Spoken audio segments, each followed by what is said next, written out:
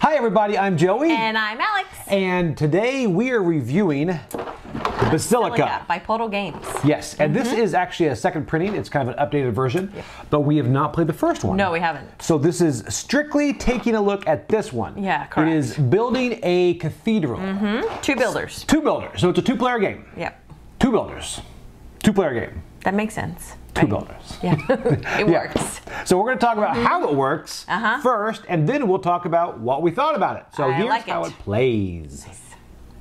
Okay, so we are set up for a two-player game of Basilica. Basilica is an only two-player game, and I'm going to go over pretty much how the game is played. I'm not going to go too much into detail about the rules, but this is pretty much just the way the game is played. So you've got a stack of tiles right here. The tiles are two-sided, one side showing the order side, the other side showing the vault side. You're going to have the stack with the order side face up, and you're going to arrange them like this on this board. Over here you've got the scoring track. Next to scoring track, each player gets a scoring marker, the red and the white, and you also get this queen. The queen, I do like the quality of these, by the way. So this queen right here is going to move along this track, and when she gets here to 10, you're going to score. You're going to score at 20, and you're going to score at 30. This is an area control style game. Then every player is going to get five builders, a coin, and some promotions. So here's way the game is played. It's very simple. These are the instructions right here. Very short.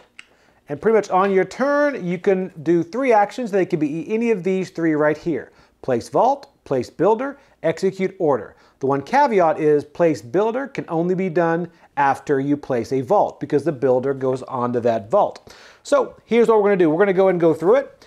I'm going to go through a sample turn for red and white. So say the red person wants to go ahead and take out a vault tile and place it here. Initially, you have to place a vault tile in the starting row. After that, you can either go the starting row or you can go adjacent to one of these tiles. So, red slid this down, this one flips over, you refill, and now a second action. Second action, I'm going to go ahead and place a builder on there. All right, and then for my third action, I'm going to slide this one out and go here. Then I'm going to refill. Now, because I put this one here, this has a crown. A crown means the queen now starts to move. For every crown, she's going to move one forward and get closer to scoring. So this is a two section right here, and I now have control of it. The next player is going to go. White is going to go. So I'm going to go ahead and take a blue, place a blue right here. Again, it is adjacent, so I can do that. Then I'm going to go red here. And then I'm going to, for my third action, go right here. So I've placed a builder. So right now it is a tie. No one has control of this. Go back to red player. Red player, we're going to go ahead and go here. Blue. Flip. Drop. And there is a crown, so it's going to advance one more. And then I'm going to go ahead and place a builder. So I have this. Now you notice right here, this tile is a wild tile. This will, if it stands somewhere, it will be red and green. So it can be two colors at once. So blue's gone twice. Now, what we've done so far is I've shown you place vault and place builder. There's also execute order. Execute order is to use one of these up here with their order side. For example, if I wanted to execute this order, this would pr- be promoting one of my builders. So if I am, say, white does this. We'll say red does this. Red is going to promote a builder. So what promotion? I can use any of these right here. There's strongman, there's times two. So for example, I'm going to take this and I'm going to place it under this guy. So now these will score twice as many when it scores. Now, if red did that, then white has a chance to do it. Notice the coin here? I can pay a coin and promote one of my builders as well. And the coin just transfers to the other player. And for this one, I can prom promote one of my builders. It can't be the same promotion, but what I'll do is I will go ahead and give mine a, right here, Master Mason. So now this guy is worth two. So he will have control of this section right here. So this would count as one, two to one. So I would get that. So play is going to continue in that manner. There are all these different kinds. This right here is scaffolding. You could place these pieces right here to break up someone's area. And this right here is you can place a builder. And they have different orders all throughout here too. These right here are stained glass. Those add points to a certain area. So we're going to go ahead through and I'm going to show you how scoring works. We're going to play some more. Like I said, it is a five tile wide cathedral here. All right, so here we go. All right, so now let's say we have got this going on right here. So here's the way this scoring is going to work. Say the queen is already to here. We're going to go ahead and score. So this red section right here is four, counting the wild. So one, two, three, four. It would normally be tied, but this guy's worth two. So now white gets a majority. One, two, three, four. So boom. And since I've got presence right here, this builder is going to score one. All right. Let's check green. Green, two. There's only one person there. Very easy. So one, two. All right. Blue, one, two, three. Keep in mind this times two. What's nice about this times two will work no matter who. Like for example, if I had two whites on here, even though it's a times two, then the white would get twice as many. But right here, the way it is, one, two, three times two, that is six. So it takes me up to nine. Then here we have yellow, one, two, three, two white, so one, two, three. Now you've scored that. Then at the end of scoring, what's going to happen is these are considered finished. So the first two rows, all the builders go back to each player, promotions as well. And then these tiles are placed back into discard. It's slid up, kept in the same order, and then you keep going until 20 and 30, and after you score 30, that's the game. And it can also end if you go through this stack twice. You go through the stack once, that's fine, you reshuffle, do it again, but you go through it twice, you score, and that is the end of the game. But that is pretty much, in a nutshell, how you play Basilica. Let's send it back and see what we thought about it. Okay, so that is how Basilica plays. Yeah.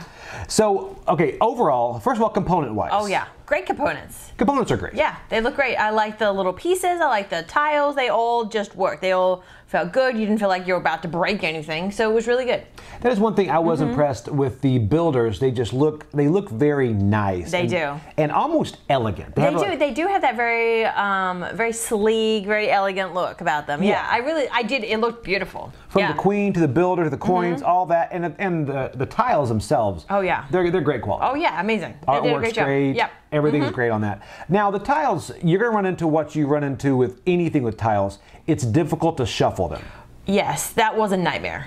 Yeah, because shuffling you can't shuffle like you do with cards. You No. kind of have to pick them up and move them around. Yeah. and did that little of- game of like what is it, the pea in the shell game that people play? I don't know what it really is. the whole thing Yeah. is it's like when you drop I- i gotta tell you so um it's it's funny i saw a magician working and he's like hey these cards are shuffled and then he drops them and they're everywhere and then he picks them up and you can tell he's freaking out because i'm like yeah now they're really shuffled Yeah. so really if you want to shuffle it drop them is the best way i've seen people do that with tiles Yeah. sometimes you have to do that I feel like that was the only really way to do it. Otherwise, you have that whole like moving around. But Mm-hmm. Yep, anyway, yep. they're they're tiles, so they're good and they're Yep. good quality, so they're not going to bend and all No, that. that's what I like. I like this solid tiles. You can plunk them down and build your cathedral. Yeah. So, so okay. Mm-hmm. So component-wise, they're great. Now let's talk about gameplay. Yes, let's talk about that. Gameplay. It's funny how as you play the game, we played it several times, Uh-huh. and it our review our view of it kind of changed a little bit. I was gonna say Now- if, I, if I was gonna review this after the first, even second round, it'd be very different than after I played the third round. Now the big thing Yeah. is I'll go into there's no player aid. No. Mm-hmm. And that's it's it's a simple game, but it's also simple to throw a player aid in there. Yeah, and I feel like those little um, tiles that have all the symbols about whether you can move your build or what, I kept having to go to the rule book every five seconds because I'm like, hang on, what does that mean? Does this mean the same as this one? I kept having to check.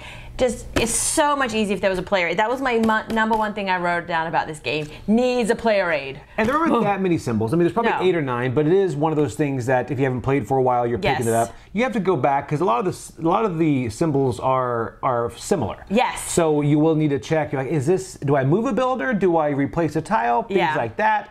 So now, one thing I did like about it is I like the coin mechanic. Yes, I did too. I like that closed economy kind of thing too. One thing I was going to say too about the symbols is one of them they were just kind of similar. You, I would think something was moving my builder, but actually it wasn't. It just that was why that player aid was kind of needed. Yeah, and it's also Yeah. one of those things. It's it's a two-player game, so it's competitive, obviously. Mm. But then, if you kind of understand something and someone else doesn't, like at one time, I saw this whole area being doubled, and then I saw I had an altar and a A and scaffolding. s- no, sta- stained glass. there. Stained glass, So there I knew go, I was yes. Mm-hmm. getting a lot of points, and she wasn't concerned. I'm like, does she not see this? Yes. Second round, she saw it.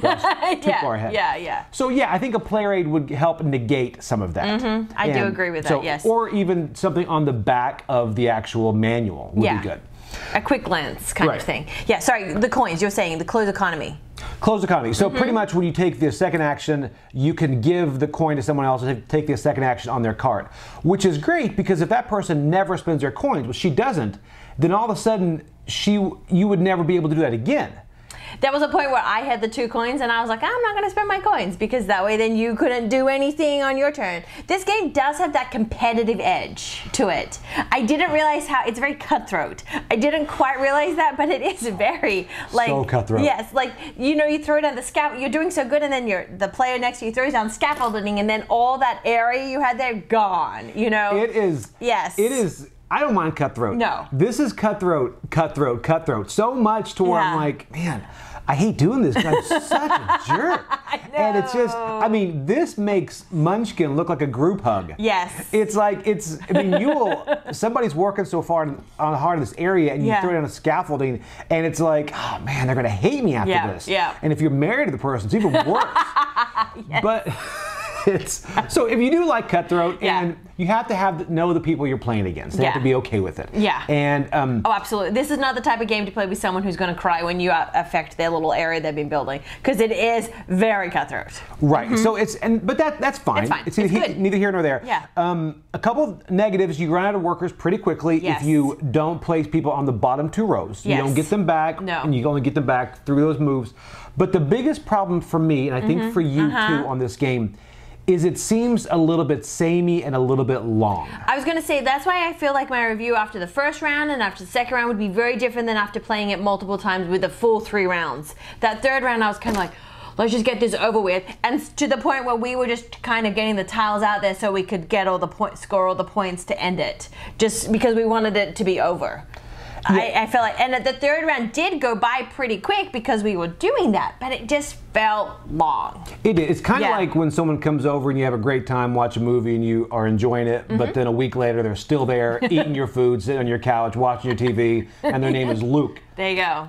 You know Yeah. who you are, Luke. I'm just do. kidding. no, but it, it is way overstated Yes, welcome. yeah. That's the thing. And I, I think it's not a long game, but it's a very thinky game, so it Uh-huh. can be long. But the first couple rounds we did enjoy. Yeah. Oh, absolutely. Yes. I don't know how often it'll hit the table, but Yeah, I, that was my question too. I don't know if this is the game I would actively bring out to the table, but if I was at a con or something and I see people playing this or someone wants to play it or have it set up, I would totally go join it.